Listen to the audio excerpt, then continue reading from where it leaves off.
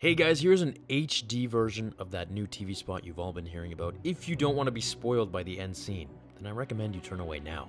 But if you don't mind, and you trust that Star Wars won't ruin it for you by watching these TV spots, then enjoy. This one's pretty weird and opens up a lot of theories, but with only seven days to go, I think it's best we just wait for the film.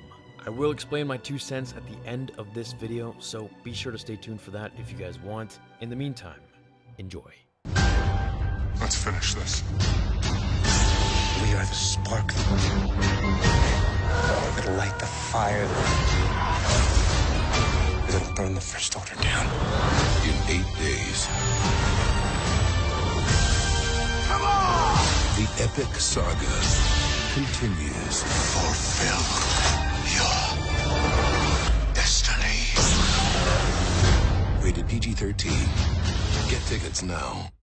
So what do I think is going on here? Well, basically, if I had to guess, Rey and Kylo team up, turn on the guards and Snoke, and try to blow up his ship. Either that, or she actually defeats Ren in front of Snoke as a sort of test, and either joins him or completely goes rogue and does her own thing. I don't want to get too into it, I'm just waiting for the film at this point, and then of course, there will be tons and tons of breakdowns, videos, and theories to come. I want to know what you guys think about this though, so let me know in the comments below.